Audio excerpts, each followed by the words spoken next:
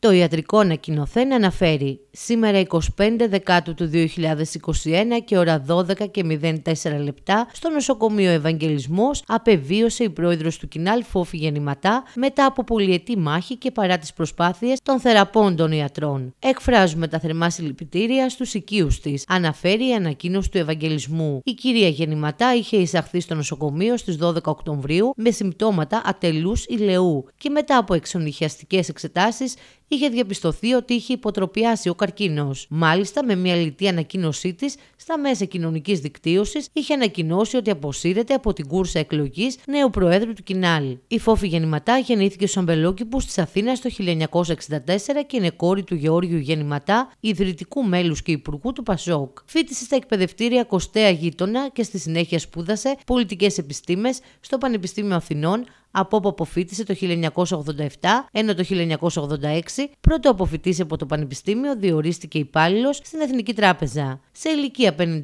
ετών ήταν ήδη πρόωρας συνταξιούχος, τραπεζικός υπάλληλος, κάτι για το οποίο είχε δεχθεί κριτική. Η σύνταξη αυτή είναι σε αναστολή γιατί σήμερα έχει την ιδιότητα της βουλευτή. Έχει παντρευτεί δύο φορές και έχει τρία παιδιά. Πρώτος της σύζυγος της Φόφης Γεννηματά ήταν ο Αλέξανδρος Ντέκας, η εταιρεία του οποίου το 1994 ανέλαβε από το κτηματολόγιο ΑΕ να υλοποιήσει το για πρώτη φορά συντασσόμενο ελληνικό κτηματολόγιο. Παντρεύτηκαν όταν η Φόφη ήταν 22 ετών και απέκτησαν μαζί μια κόρη. Ο δεύτερος σύζυγός της είναι ο Ανδρέας Τσούνης, τον οποίο παντρεύτηκε το 2003. Ο κύριος Τσούνης είναι οδοντίατρο και εργαζόταν στο νοσοκομείο του Ελληνικού Ερυθρού Σταυρού Ερίκος Δινάν, από το οποίο παρεντήθηκε το 2014, τη χρονιά που αυτό πέρασε στα χέρια της Τράπεζας Πυραιός. Μαζί απέκτησαν μια κόρη και ένα γιο. Το 2008 διαγνώστη με καρκίνο του μαστού. Την περίοδο του 1982 έως 87 συμμετείχε στη φοιτητική παράταξη ΠΑΣΠ του ΠΑΣΟΚ. Το 2000 εξελέγει βουλευτής Α Αθηνών με το ΠΑΣΟΚ και μετέπειτα γραμματέας του Προεδρείου της Βουλής. Παρέμεινε στο αξίωμα έως τις 31 Δεκεμβρίου του 2002, όπου και ανέλαβε υπερνομάρχης. Στις εκλογές του Μαΐου του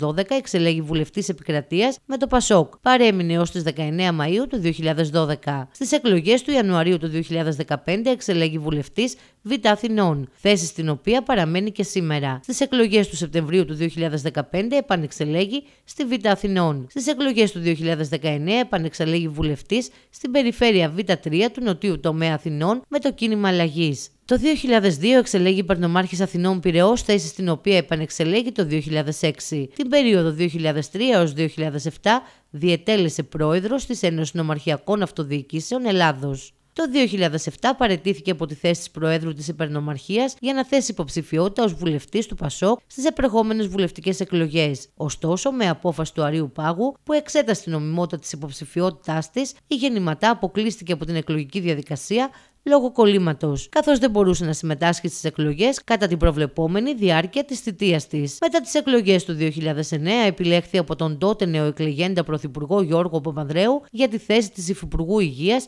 και Κοινωνικής Αλληλεγγύης. Ανέλαβε καθήκοντα στις 7 Οκτωβρίου του 2009. Παρέμεινε έως τις 7 Σεπτεμβρίου του 2010. Στις 7 Σεπτεμβρίου του 2010 ανέλαβε αναπληρώτρια Υπουργός Παιδείας, Διαβίου Μάθησης και Θρησκευμάτων. Παρέμεινε έως τις 11 Νοεμβρίου του 2011. Στις 11 Νοεμβρίου του 2011 ανέλαβε αναπληρώτρια Υπουργός Εσωτερικών. Στις 27 Μαρτίου του 2012 παρετήθηκε από το αξίωμα της Υπουργού στην κυβέρνηση του Λουκά Παπαδήμου για να αναλάβει εκπρόσωπος τύπου του Πασόκ. Με τον ανασχηματισμό της 25η Ιουνίου του 2013, της κυβέρνησης του Αντώνη Σαμαρά επιλέχθηκε για το αξίωμα της αναπληρώτριας Υπουργού Εθνικής Άμυνας, θέση την οποία διατήρησε μέχρι τις επόμενες εκλογές του Ιανουαρίου του 2015. Στις 30 Αυγούστου του 2015, ενώπιση των βουλευτικών εκλογών, συμμετείχε στη δημιουργία της Δημοκρατικής Συμπαράταξης που σχηματίστηκε από το Πανελλήνιο Σοσιαλιστικό Κίνημα, τη Δημοκρατική Αριστερά Δημάρ και πλησιώθηκε από διάφορες κινήσεις πολιτών στα πλαίσια του χώρου της Σοσιαλδημοκρατίας και του Δημοκρατικού Σοσιαλισμού.